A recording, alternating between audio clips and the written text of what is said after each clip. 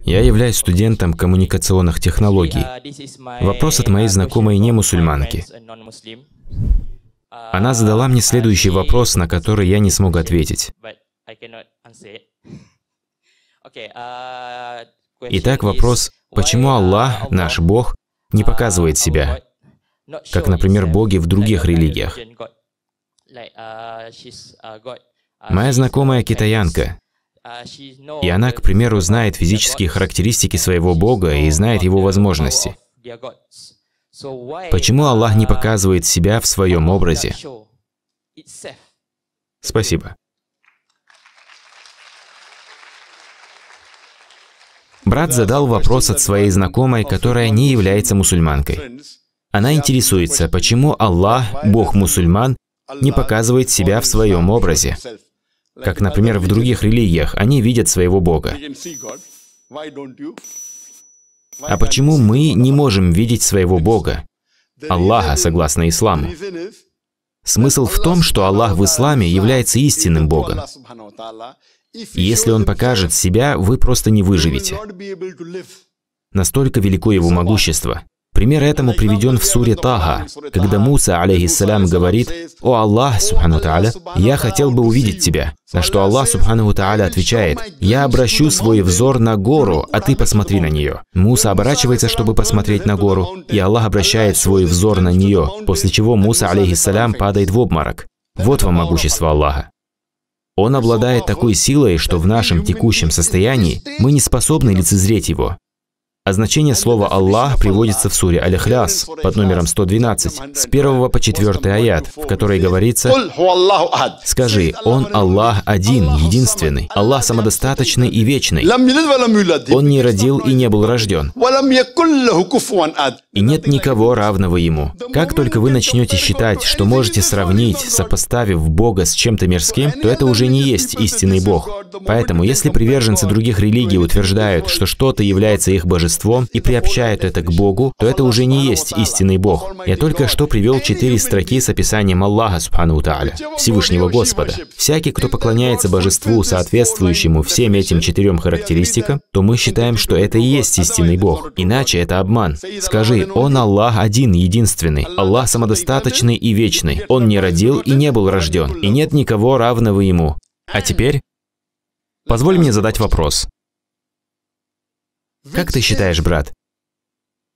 Что является наивысшей наградой, которую можно достичь?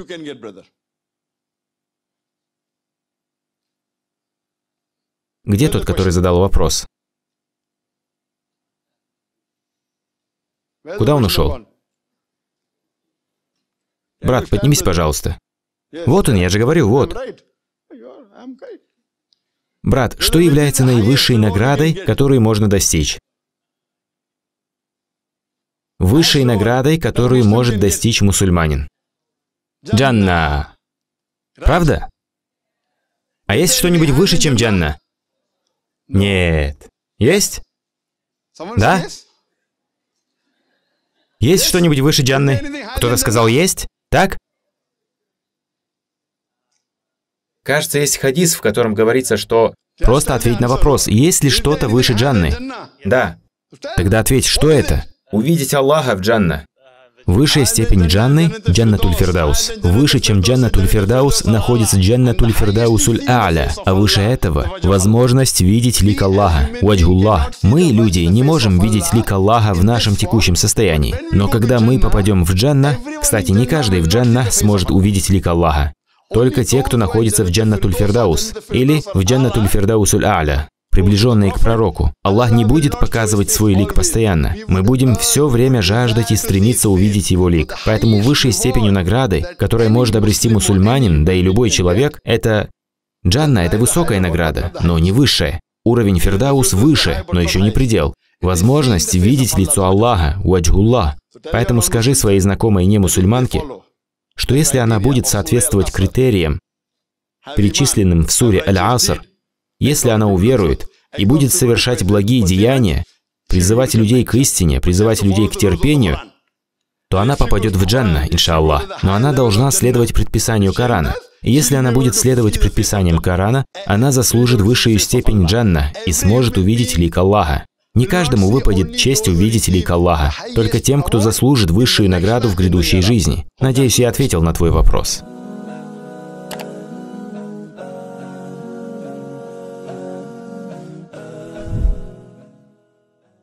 Ассаляму алейкум ва рахматуллахи ва баракату.